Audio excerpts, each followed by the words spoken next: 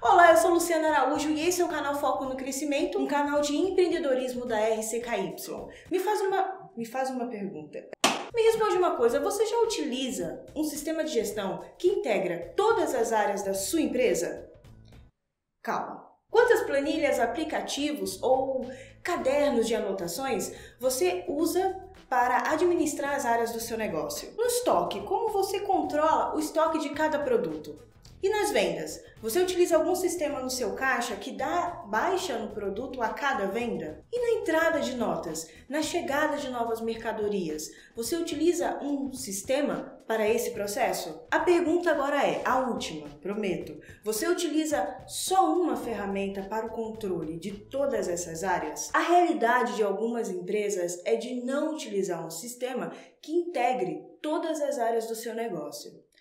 Por que, que isso é um problema? Cada departamento utiliza de uma ferramenta e isso prejudica na gestão do seu negócio e principalmente nas tomadas de decisões. Como efetuar a compra de novos produtos só pela falta no estoque, sem saber como realmente estão as vendas desses produtos, como estão as saídas desses produtos. Fazendo dessa forma, você pode enfrentar dois problemas no seu negócio. O primeiro, comprar uma quantidade a mais, o que vai fazer com, que esse produto fique encalhado no seu estoque.